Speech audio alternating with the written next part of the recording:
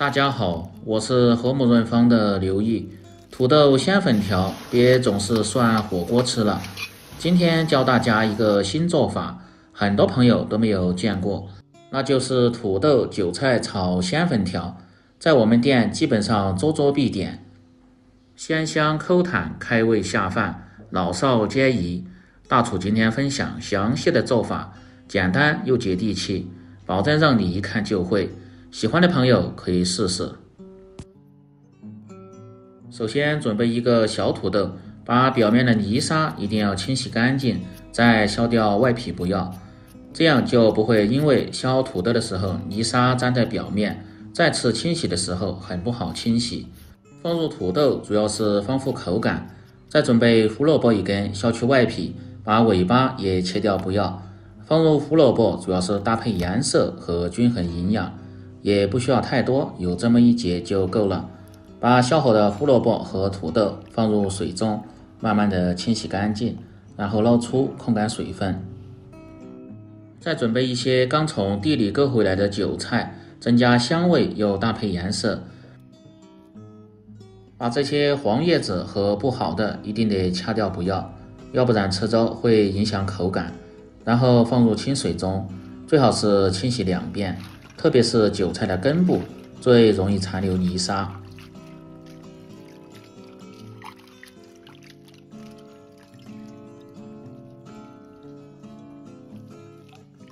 没有韭菜的用小葱段也可以。清洗至水不再浑浊，然后捞出，控干水分。再准备两个一公一母的鸡蛋，放入水中清洗干净，然后捞出，控干水分。接下来切土豆丝，有很多朋友总是切不好，今天教大家一个小技巧：先在土豆的一面切上几片，目的是让土豆有个平面，在切的时候就不会打滚。然后扣过来，平面朝下，改刀切成薄薄的厚片。切到最后不好切的，用这样的平刀法片成薄片就可以了。接着把切好的土豆片像这样铺平。这样在切的时候就不会伤到手，然后点刀切成粗粗的细丝。这一步嫌麻烦的，也可以用擦丝器直接擦成细丝。全部切好后装入盆中，倒入清水先浸泡上，防止氧化变黑。接下来切胡萝卜，也是同样的切法，在一面先切上两片，然后再扣过来切成薄片。最后切成均匀的细丝，切好后装入盆中，再把控干水分的韭菜也是改刀切成段。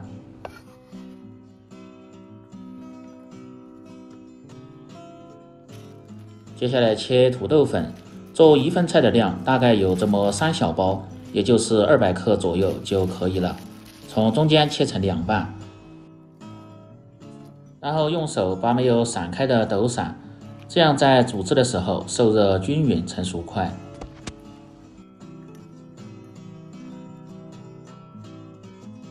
接着来准备小料，大蒜一颗和少许的生姜，先拍破，然后剁碎，稍微要剁细一点，这样在炒制的时候能够很好的出香味。然后把控干水分的鸡蛋用左手打入盆中。再用筷子慢慢的搅拌均匀，搅拌至鸡蛋冒泡，这样就可以了。准备好后，接下来起锅烧水，开始烹饪。水开后，先倒入土豆丝汆烫。通过汆烫的土豆丝，在炒制的时候受热均匀，成熟快，而且还不会粘锅。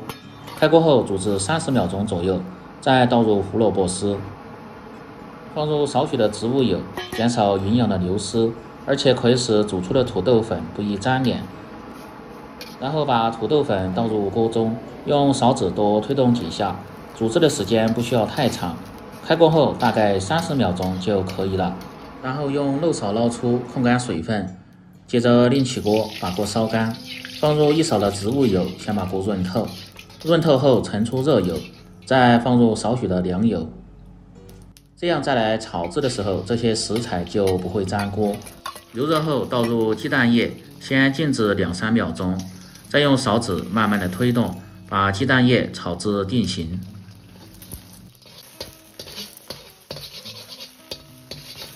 全部定型后，再划成大小均匀的块儿，稍微要炒老一点，炒至两面稍微焦黄，这样吃着味道才会更香一些，腥味小。然后盛出来，锅中再次放入少许的植物油，油热后放入少许的干辣椒和红花椒，先呛出香味，再下入姜蒜米煸炒出香味。一定要翻炒至辣椒段呈枣红色，姜蒜微黄，这样味道才会更香。接着倒入控干水分的食材翻炒，炒干表面多余的水分。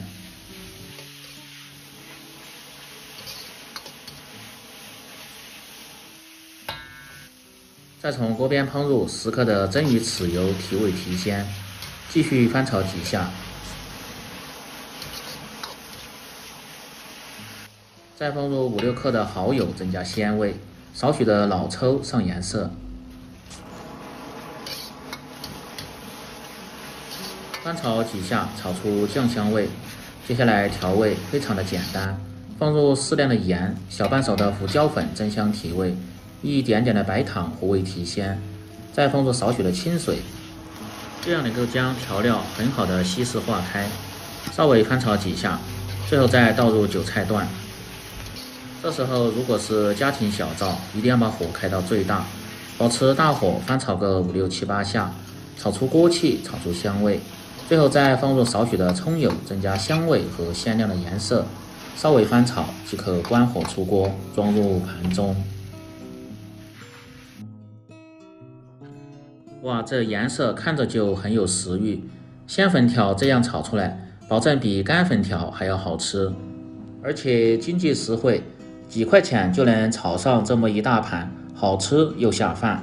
这样一道鲜香味美的韭菜炒土豆粉就做好了。更多家常菜，请关注“刘毅美食”。感谢您的支持，喜欢的朋友记得帮忙点赞、评论、转发、收藏。我们明天再见。